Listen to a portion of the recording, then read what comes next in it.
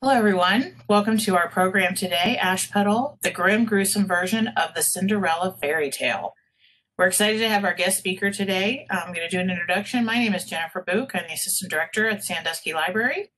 Um, if you have any questions after the program, um, you're welcome to contact me or our presenter. Mary Ann Bencivengo is an arts analyst and writer in the arts and humanities, including in folklore. She studied creative writing at Bowling Green State University and depth psychology at Pacifica Graduate Institute. She has taught college English, folklore, and children's literature classes and preschool art programs and has written for newspapers in arts and entertainment and community, human community interest articles. She enjoys writing fiction and poetry, nature, family life, and being a grandmother. I'm now going to turn it over to Mary Ann. In this presentation today, we're going to look at different versions of Cinderella from around the world. Probably the most um, known one or favorite, perhaps, is the Walt Disney Cinderella. This image is, um, I give credit to Disney for using this image. Um, it is taken from the old French version as told by Charles Perrault Charles Perrault wrote for the French court. And so the Disney version is very pleasant. Everything's beautiful, magical, um, a little less violent than some of the tales. One of the things that we are looking for in the tales today, or looking at, is the violence in the tales. Um, and also, there's so many, like I said, different variants of Cinderella from the old world, olden days, Disney Cinderella or the Disney type Cinderella, as we say. And um, this is Cinderella as it was imagined by a young girl, Gracie, at age three, and the image, as you can see, from Crayola. So, in the French version of the Disney version that it's derived from, it was pleasant, but not quite so pleasant for peasants, one letter away from being pleasant. Of course, they didn't have the, the wealth and all the money that the royal kingdom, castle, and courts did, and they had to work harder for, for what they what they had. But Ashputtle, the German version, as recorded by the Brothers Grimm, by contrast, is very, very grim. We have some of the misuse and abuse of Cinderella in the French version or the Disney version that everyone is most familiar with, but some people would be so surprised to find out just how much violence there is in other tales of Cinderella or other variations of the tales. In fact, we might even wonder if the word grim, as we know it, like grim and gruesome, could be um, derived from the Grimm brothers, or if that was just a coincidence. Abuse and cruelty towards Ashputtle. She is being made the servant, which should not be her role in the family. In most all the Cinderella stories, the father of Cinderella is a rather absent father to her due to the fact that Cinderella or Ashputtle's mother died and the father has remarried and he's so busy paying attention to his new wife when at home or he's so busy off at work and distant traveling that he is what is called in folk tales or fairy tales the absent father. Even when he's around he turns a blind eye to the plight of Ashputtle or Cinderella. The name Ashputtle is a variant of Cinderella, of her name. A cinder, of course, is a cinder wood, a little piece of, of burnt wood, and Ella is little or elf. So Cinderella is a cinder elf who's made to sleep by the fireplace or clean the ashes of the fireplace. And it's the same with Ashputtle. The ash means that she sleeps in the ash or is just a little ash or ashen, always has ashes all over her, and puddle is Cinder Ash Bottom. She has to sit by the fireplace. She sleeps there. And she does all the chores for everyone um, at their every whim, as we're probably all familiar with. So, Cinderella or Ashputtle both, and all the other variants, they are a tale or tales of desire, hopes, and wishes, how to make them come, come true, even in, when in desolation and despair. Ash Puddle reacts against the abuse, neglect, and even the violence done to her. And in the story, more strongly than the French Cinderella. Cinderella is very, very kind and rewarded for her kindness. Ashputtle, kind, but of course, they're both pretty much forced to do what they do, and they kind of have to tolerate it with a kind attitude because that's their livelihood. They're still dependent upon the father and the stepmother. But Ashputtle is more proactive, and some of the other variants of Cinderella have the character also be very active in pursuing her goals to work against the abuse and the seemingly terrible fate of having to endure it forever. Um, in Ashputtle, she has a deceased mother as a spirit helper, which replaces the fairy godmother that's in the French version. In the fairy godmother version, uh, she just appears um, seemingly out of nowhere. Of course, she could actually be seen as Cinderella's deceased mother, uh, the spirit of the mother coming to her like a guardian angel. And in Ashputtle, the deceased mother is not a fairy godmother, but is directly, immediately the mother, or obviously. And then in these fairy tales, we have a lot of the folklore uh, sayings, beliefs, ideas. Um, it goes back to the old saying, blood is thicker than water. And apparently, that's even from the um, Beyond the Grave in the Cinderella tales.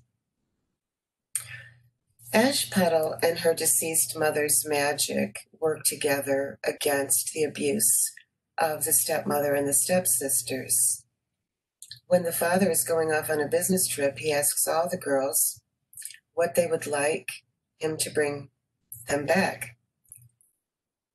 The stepsisters reply they want beautiful gowns, beautiful gems, beautiful shoes. Everything's quite material. And they expect a lot, as if they're used to being very spoiled. And they don't really say it very kindly, they demand it more than ask. Ashputtle simply asks her father to bring her back the first branch of a hazel tree that rubs against his hat on his way home. He does this and brings it home, and she puts it on her mother's grave, and she's always crying at her mother's grave. So, what so happens is that as she's crying these tears over the hazel branch, the water of the tears is what waters the tree and it grows roots and it becomes a hazel tree. Hazel is very popular in old folklore as being a rather magical type of tree. So, of course, here we have in this story, we have a hazel branch instead of a magic wand. So we see that any wand well, not when we go to the toy store nowadays, which is often made of metal or plastic, but that any wand way back in those times was made of wood, possibly metal if a metalsmith was around for a magic wand. Um, but a branch or anything that you would carry um, to have fire a torch or whatever would would be wood. And therefore, the branch is a living branch. And that's where the whole idea of magic wand, maybe not the whole idea, but that's where part of the magic wand idea comes from. In the tree resides the mother spirit. So the role of the deceased mother in the spirit of the tree is that the mother within the tree is a guardian angel, avenger. And she is out to make her daughter's wishes come true. She is out to work against and the terrible fate that is being thrown at her daughter by a woman who is obviously uh, narcissistic, abusive, even violent, as we'll see towards the end, just how violent she is. And in the old folklore beliefs, also, a bird would carry the soul of the deceased. So often, if one would see a bird at a special moment or special time of synchronicity, perhaps, um, when you're thinking about that person and missing them, it was said that the bird was the deceased or the soul of the deceased coming to say hello or to visit. And most these tales, all of the Cinderella type tales, have helping animals. And in ash Ashpetal, in this case, the helping animal picks up lentils out of the fireplace when ash Ashpetal needs to get to the royal ball. Because the stepmother tells Ashpetal that there is no way she would have time to get ready for the ball because she has to pick out all the lentils out of the fireplace and make sure that she has sorted them. The bad lentils that aren't good for eating or in the best shape or condition, dried out or whatever, or spoiled, from the good lentils that are potentially you know, um, potential for for eating, suitable. And when having to do that, it's like winnowing the bad grain from the good grain.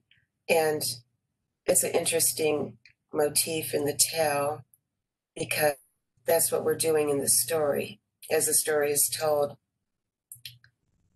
the idea in the tale, as far as morals and customs, commentary on human behavior, is that we are looking at comparing and contrasting the good and the bad from one another. And the birds come to help Ashpetal as they do Cinderella in the French version because Cinderella and Ashpetal deserve it. They are deserving. They are not nasty to others. They are doing everything for everybody else and enduring it and still being kind. I mentioned a little bit about the wand motif earlier as the hazel branch and Ashputtle. I really like these illustrations because I really like the leaves in the patterns that remind me of the hazel branch and the hazel tree. And the gown is a rags to riches motif. Almost all Cinderella type tales are a rag to riches story. The wand, I already mentioned that the hazel branch that the father brought back is a magic wand, at least as far as Ashpetal is concerned. She put her wishes into the branch of the tree and be- made that connection with her mother in that way. And as the tree grows, the connection between them grows stronger and stronger. The idea of the slippers in the tale, or having beautiful feet that can slip easily into the slipper, is and they are often said to be glass slippers. In Ashputtle, they are gold.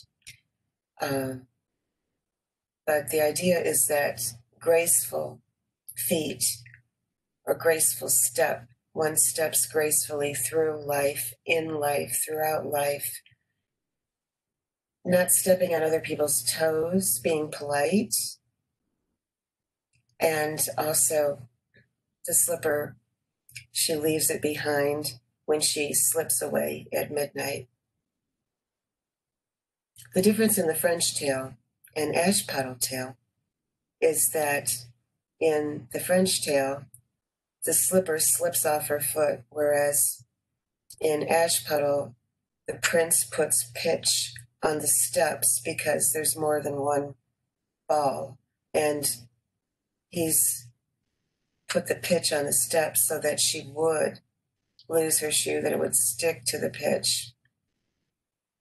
And therefore, he could try to fit who would um, find the fitting princess, the right princess. If the shoe fits, wear it. Who is fitting to be her, uh, the queen? And so, in all the tales, like all folk tales, fairy tales, it will reflect social customs, belief, commentary on human behavior, uh, faith in the world, what we stand for, who we are, what we will tolerate, all of these things. To be a princess or ladylike, apparently, the idea was to arrive late, leave early, and must have beauty of spirit. And that remember, the outer beauty is only skin deep, since the spell is broken at midnight, and she has to return home to her rags. And in many cases, the gown returns to rags as she returns home. When the prince searches for Ashputtle, his bride to be, the step family keeps Ashputtle hidden in her room in the house, upstairs from the prince. But justice will prevail. There is retribution, goodness is rewarded, and evil is punished. And Ashputtle will get her due reward with the help of her mother. Ruku, Ruku, there's blood on the shoe. There's blood on the shoe. It's a false bride. It's not the true bride. This tale in Ashputtle has the false bride motif. And here, the warning comes from the birds who are flying above the stepsisters when they try to go off with the prince to the castle to be the bride. So what happens is this stepmother is so, so violent and abusive that when the prince has the first one of the daughters try on the shoe, it doesn't fit. And the mother, she's abusive to her own children. She will stop at nothing. She says, Go ahead, cut off your toes. Then you will fit the shoe. Once you are queen, you won't need to do anything anymore, anyways. You'll have servants do everything for you. So, believe it or not, yes, the daughter listens to the abusive mother and cuts off her toes, hops on the horse with the prince to run off to the castle to be his bride. And that's when the bird says, Wuku, wuku, there's blood on the shoe. Different versions of the tale, even from Germany, have um, different things that the birds say. Uh, in one of the versions I have, I have, um, this is um, the Roku Roku, there's blood on the shoes, is one of the chantings of the birds, like a magical um, rhyme. So here again we have it's the, the old saying, if the shoe fits, wear it. Then the next daughter tries on the shoe, and her foot doesn't fit either. So the step that her mother tells her, go ahead, your toes fit fine in there, but cut off your heel. because that way you can wear the shoe and who cares? Um, he, as queen, you won't have to do anything anyways. You won't really need to get around. She does that, and the prince, the second time, sees the blood pouring out from her shoe and takes her back home and wants to find the true bride both times. But he is now knowing that neither one of them are the true bride. You'll see that in some of the other tales, there is the false bride motif also. So there's the bird warning of the um, blood on the shoe. Hmm. I don't know how that um, that YouTube um, link got up there, but we have the retribution from the mother. Um, I do know what song that is, though. It's a time for a cold change. So I guess maybe um, Cinderella and Ashputtle want to let us know that um, retribution is coming and um, it is time for a change to get away from the fireplace and the ashes and the fires. So, in the wand or the stem here, um, you see the drop of blood, that the retribution comes from the mother.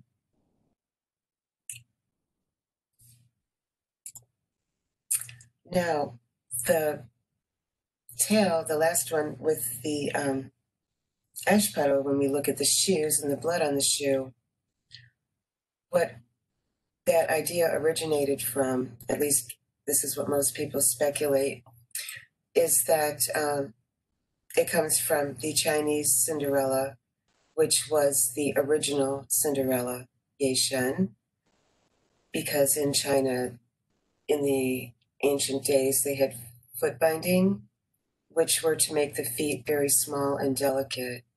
And it was actually believed that to be royal meant to take very tiny, delicate steps. And you did have people carry you in a carriage, or you did have people that um, worked for you, and you really didn't need to walk. So that idea um, comes from, as like I said, most folklorists believe from the original Cinderella from China, which is usually thought of as the oldest Cinderella story known. In Ye Shen, it is a similar story. Stepmother, father, her mother died, the father remarries. In this case, there's a pond, and in that pond, Ye Shen meets the magic fish, who is her pet goldfish.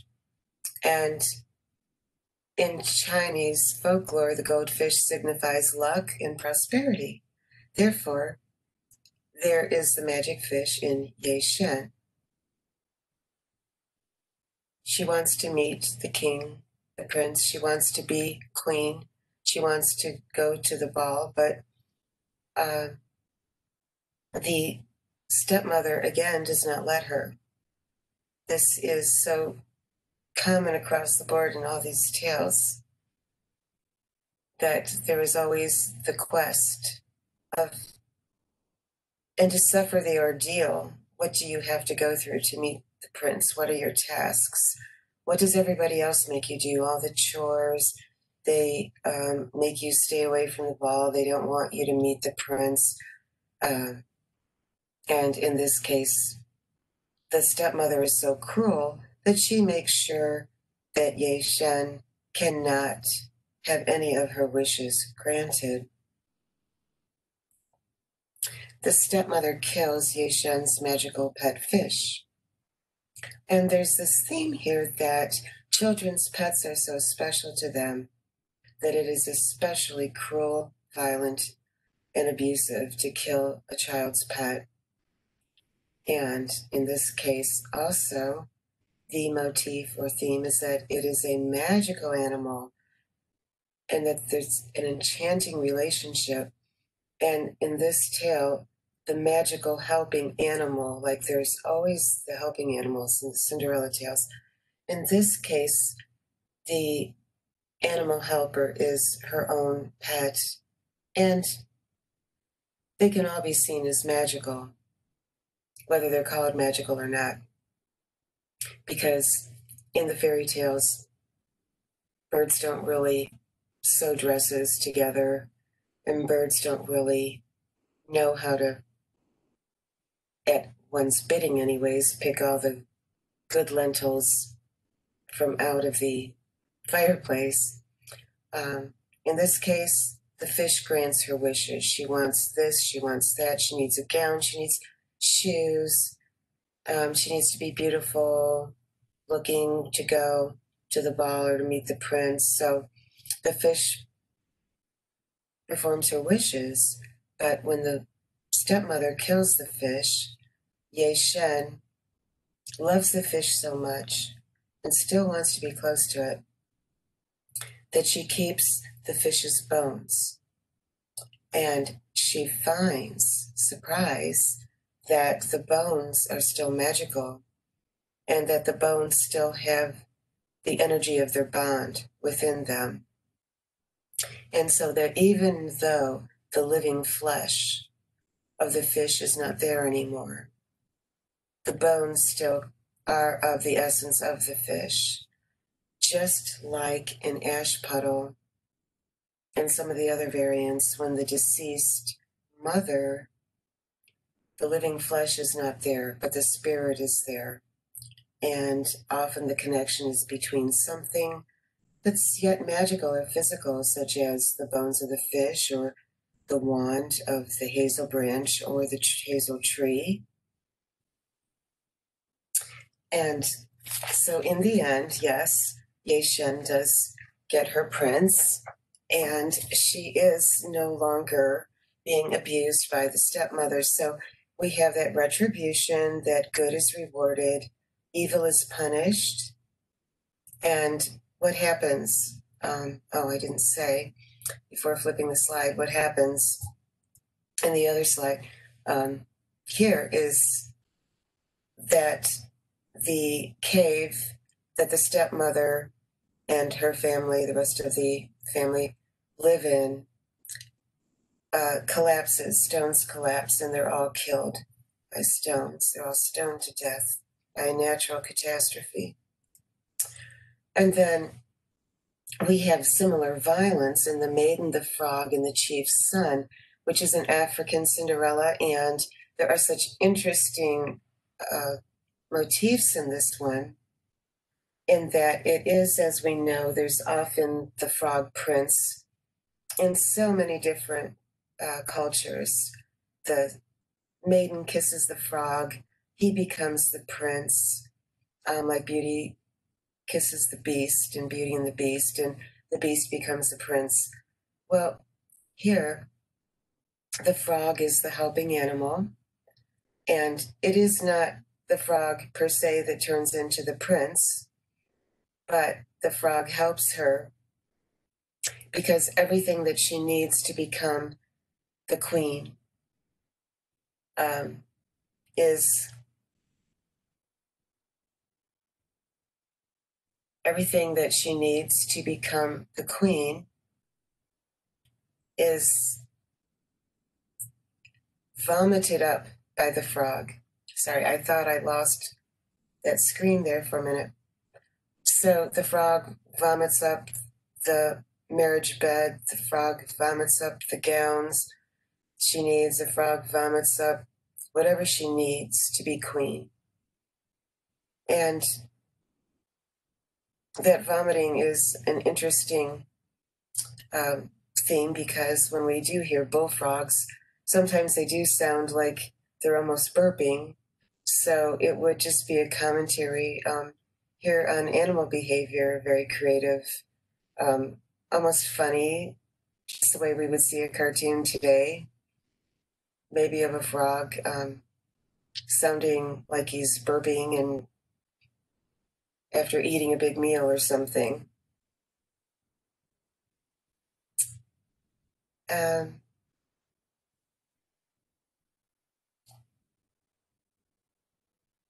hmm.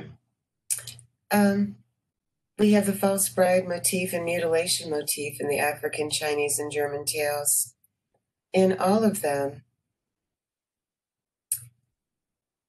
there are mutilation in these three.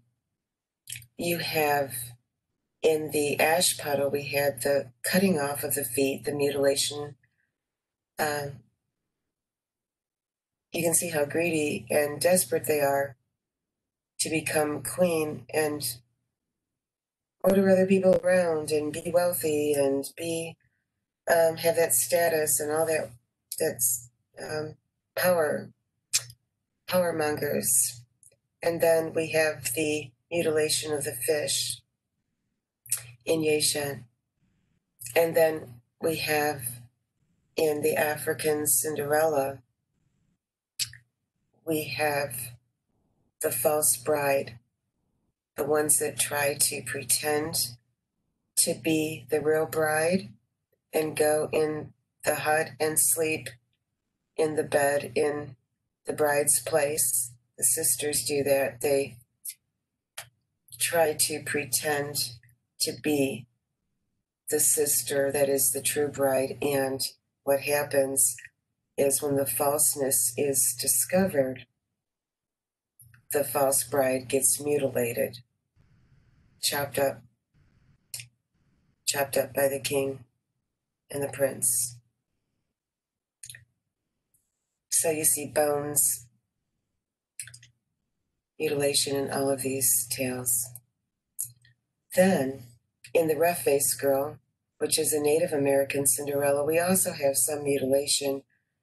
It's not directly um, done to her by others or them herself, mutilating or cutting off her feet or anything like that, but because she tends the fire, the ashes from the fire, here we have the ash puddle theme again with fire and ashes. Um, she's a fire tender, and the cinders burn scars onto her face. If one lands on her face, and her whole body is scarred up from um, embers and cinders. And you can see that she's bandaged. She doesn't really like the way she looks, but she's proud enough to. Um, she's proud enough See, I did that subconsciously. We're looking at her with her eyes doing the same thing, but I don't know if you can see me on the screen anymore. It looks like I disappeared, but um, I'll keep going and, and we'll find out. Um, so she knows who she is and she still has belief in herself. All of these stories also teach girls and remind us all as adults to believe in ourselves, to know that we all have an inner beauty, or maybe except the stepsisters. Maybe they could learn to cultivate that. Um, but we are, of course, modeling the Cinderella character in the tale. So we know that we, just like Cinderella, has an innate goodness or innate beauty that is inward.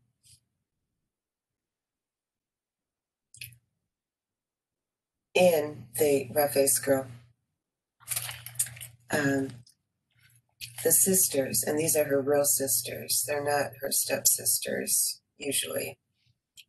Um, this is a Canadian Native American tale. They tease a rough faced girl and gave her that nickname because of her scars.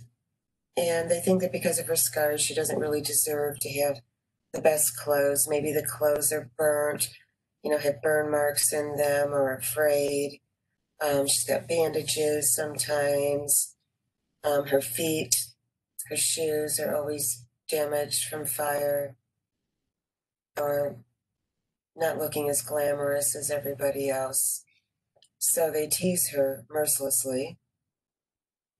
And in this one, there's the Great Spirit, who is the invisible one. And the invisible one, or spirit, is looking for a wife. And everybody says, Oh, I want to be his wife. I want to be his wife. Let me meet him. But the invisible one's sister says, No, you cannot meet him until you tell me if you have actually seen him and you know what he's like. What is the his bow made out of for his arrow? And of course, they all try to make something up. Oh, it's made of this kind of tree, it's made of that kind of tree. Uh, and no one is correct. And so they're deceptive. The sister knows that he's a liar, or they are lying. And um, they um, ask for, I'm, I'm very distracted at the moment because I'm not sure if this is working correctly. I hope so. Um, so they're not sure if um, anyone is out there to be his bride. But the rough faced girl, they think it's preposterous that she wants to go to him, and she claims she has seen him. And the sister asks her, uh, What is his bow made out of? And she says, Why, it's made out of the rainbow of the sky. And there's the shape of the bow for the rainbow. And then she has seen his spirit in the sky where the hawks were eyes. In other words, she sees the Great Spirit, she sees the invisible one in everything. And so she is attuned to nature, which is very, very important, of course, in Native American tradition that in honor of spirit, you were attuned to the earth and sky and all of nature. So, because she is so kind and has the gift of sight, she is the new bride, becomes the bride of the Great Spirit or Invisible One. And some people do wonder if when she becomes that bride, does she go to the other side into the invisible realm? Uh, some say yes, some say no. Uh, I've talked with a couple of people from Native American um, backgrounds and traditions who say they have heard this story told both ways. That there has been the addition of um, the invisible realm, that she goes off into it with him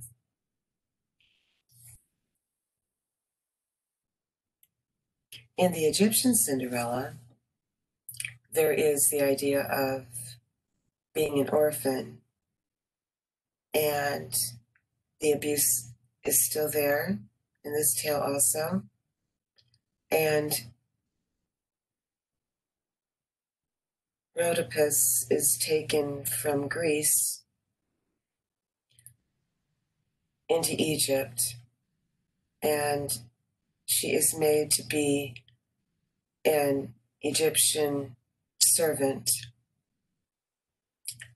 And in this one, she is different from everybody else. Her hair is not quite as dark, it's golden, golden brown. Her eyes are green. Everyone makes fun of her for having different color eyes, color hair, different style about her. And she doesn't quite blend in, so to speak. They make her do more of the chores, and she's a very, very hard worker, just like all the Cinderellas are. Um, and she has a close connection and um, relationships with the animals in the tale. There are hippopotami, um, falcons, other pond water creatures, and um, uh, monkeys, um, and they all help her and are kind to her.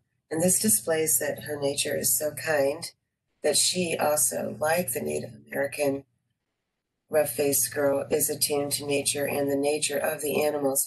Now, being attuned to the animals has the significance of sort of having an inner guidance, having compassion for all living things, and having an inner instinct of that compassion, the way a person would nurture their pet and cherish their pet. In the Egyptian Cinderella, the hawk takes the golden shoes. These are black in the icons, but um, they are they were in the tale golden shoes, and takes the golden shoes to the prince looking for his bride, and the animal rewards her and is the messenger, which is very very common in both Greek and Egyptian mythology that there is a falcon, a hawk, um, as a messenger bird, um, having a mercurial character of Mercury, the messenger that had the winged sandals from to carry one uh, a message from one person or one place to another. So it's interesting that in this Greek and Egyptian version, we do get the falcon that delivers the slippers. And she gets her prince um, due to the kind kindness of her nature and the kind animal spirit. And then from Haiti, we have the magic orange tree. And in this tale, there is a similar tree motif along with Ashputtel. And the tree motif is happens to be an orange tree, of course. Um, the girl comes home from school and she sees a few oranges on the table. One by one, she eats them. She's starving because the stepmother hardly ever feeds her, just lets her go hungry. The stepmother's not home. So when the stepmother does get home and she sees the oranges gone, she starts complaining. Who ate my oranges? Who ate all those sweet, delicious oranges? Whoever did, they better pray for themselves because they won't be around much longer to pray. So she pretty much basically threatens the girl that she will be killed. Uh, whether she would actually do it or not is another story, but how we talk to our children is important. Um, children don't always know what to believe, and that could scare them. What they like about the retribution at the end of these tales is that they're in absolutes, in black and white. That anyone who is being evil is going to be punished, and that they won't be the ones punished so long as they are innately good. So when the girl is threatened by the stepmother, she gets very, very scared. She runs off into the woods to her mother's grave and cries over it. And there she finds an orange, orange seed and with her, and it turns into a sprout and she starts saying these prayers, you know, please, orange tree, grow, grow, grow. Um, there's a number of prayers. It's um, repeated over and over, and each time she repeats it, well, that was redundant, repeat it over and over, repeat it a lot. Each time she does it, it grows higher and higher and bigger and bigger.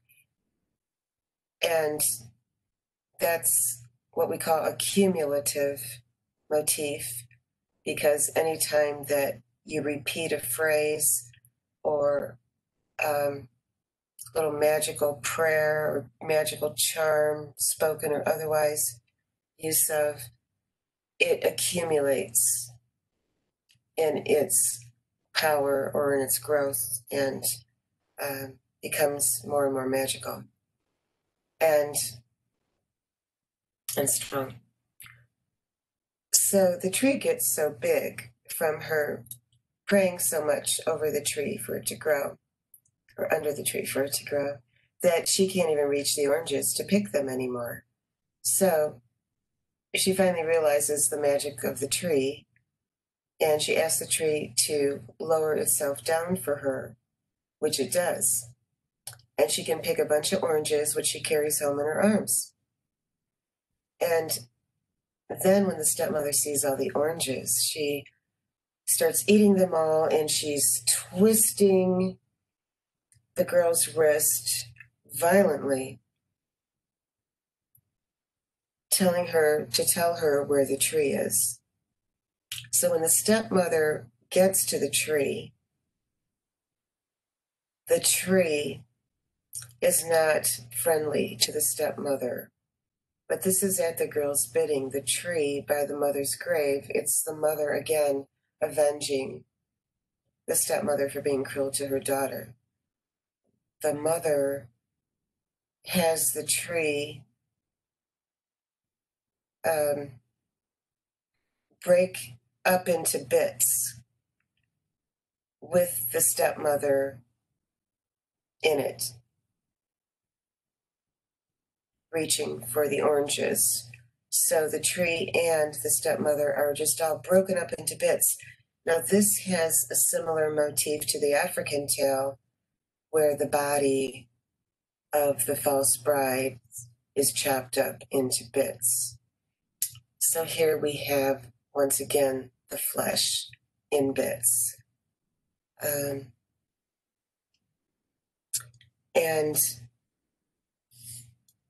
the girl becomes an orange vendor, has a magic orange tree where she makes her livelihood and never goes hungry again by selling oranges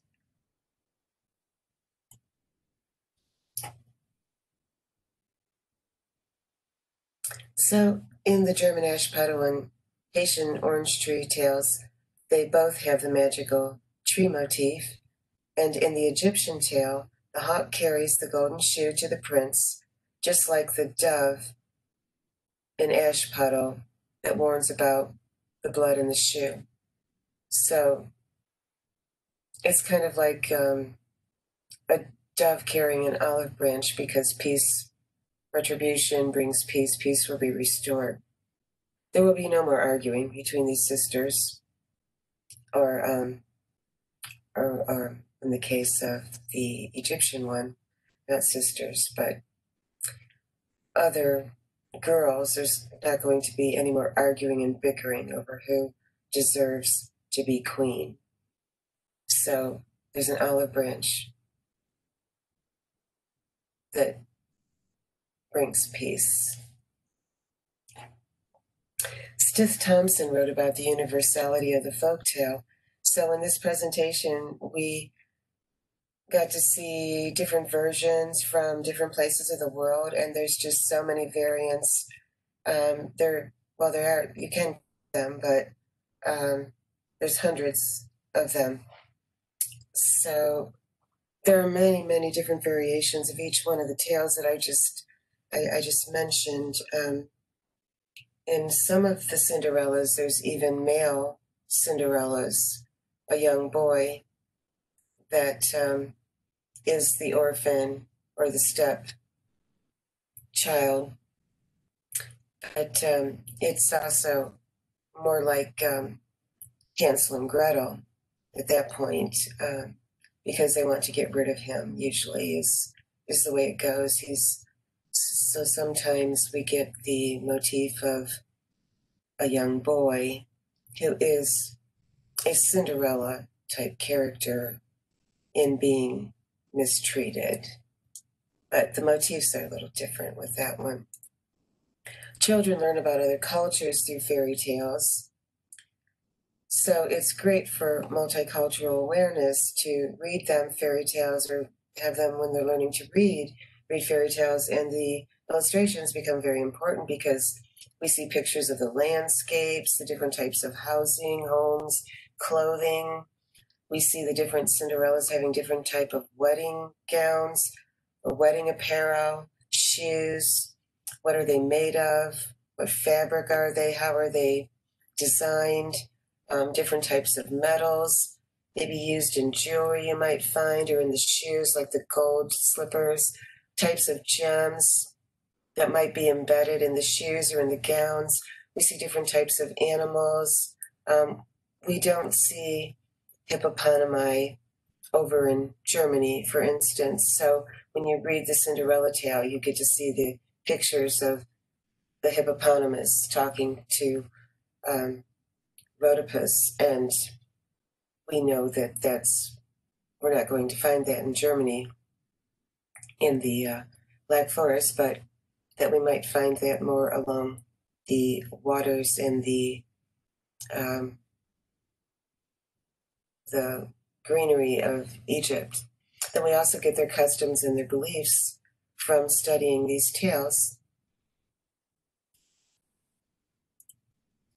So, in reviewing these several tales, we've seen key themes that appear in Cinderella type stories, including levels of violence and rewards for their virtue of kindness. We also learn in young girls and children, boy or girls, we'll also see that we need to be kind to ourselves. When you read Cinderella to a child, or a child is reading and discussing it, they might say, Oh, my sister doesn't have to do as many dishes as I do. Why am I the one who always has to take out the dishes or garbage? Why am I the one who has to take it, always do the dishes? Um, how come I have to clean my room, but her room's messy and she's not cleaning her room right now? And so you get these arguments, and you know that from this that it's not likely all the time abuse, that abuse is um, known by extent and duration. So these children are not that are saying, oh, I always have to do the dishes. Well, maybe not always. And they're probably not being servants to the whole household all day long. But um, you can find um, sometimes you might hear something that, you know, um, might sound like abuse, but most of the time you hear that it's just normal chores. Um, and children learn from this too that there are chores to do that their chores aren't really so bad if they compare them to Cinderella, who doesn't get to go anywhere to a ball. She has to do everything all the time, and they make her sleep by the fireplace. But we do need, because the children align themselves with the Cinderella character, or young boys can see themselves in Cinderella also, or the prince, and what the prince would honor within his bride, or anyone for that matter, who is nurturing, um, just like they would honor their mother so we see that kindness is a virtue all the way around in this tale, whether you are male or female, young or old. Uh, it teaches us different values. So we see that folklore is a way of teaching fables and their morals, retribution. We saw in these tales different types of rewards and punishments. It's almost as if divine fate and justice um, comes down to serve itself upon the characters. And that idea of retribution, divine fate, always overlaps somehow with 3A, 3B, or 3C. That we have faith in the world, that there is an order and logic to human experience, and in the reasons and rewards to social responsibility. we could probably say that Cinderella or Ashputtel, after doing all the chores, knows how to serve others and how to be kind, how to be patient. And these would be very nice qualities to have as queen instead of somebody like the stepsisters who are very mean, very greedy, uh, cannot even listen to the voice of reason and still go ahead and chop off pieces of their feet when their mother tells them so, just in order to be queen. So, and the logic is that retribution does come about. And then we have the comments, of course, on human behavior and all of these different things. And we've often, well, we've already said, I've already said, I've often discussed some of these throughout these tales in this presentation, but that there are social rules and customs, rituals of behavior. You can see all these here, um, sorting who we are and what we stand for. Well, we know what the stepsisters and the stepmother stand for, and we know that Ashputtel will not stand for cruelty and being cruel. In the African Cinderella, we see that they do not stand for dishonesty. Um, in African folklore, what is usually most important is the honesty. Also, in Native American, happens a lot in the Native American tales that there's an honesty motif because it is very important when you're living in a community, in a close community, depending on one another in the way a Native American uh, tribe would have, or an African tribe would have. Um, everybody has to do what they say they'll do. Everybody has to be where they say they will be. If they're on the watch to make sure that everyone's safe and that there's no um, warring factors or people or animals that could attack coming along while other people are sleeping. You have to be where you are. You have to you have to keep that watch in order for everyone to survive. So the just survival of everyone depends on one, and they all work together. So we can see in each of these tales what different people stand for. Now, these criteria or these elements that come in these tales, it comes naturally. It's organic within the storytelling of the old days. And here they are in this list of folklore. Um, and it's just the same in the books and films we read and watch today, in which any form of art, whether it's the oral tradition of way, way back before we had books, or whether it's film and written, published books now, any art form can only reflect the society with, within which it lives. Of course, you can have fantasy too for folk tales and fairy tales, but it will still be reflective of what is within the society from which it came. So it teaches, like we already said, manners, customs, morals, social rules, behaviors, and um, etc. So here we have our castle in the air.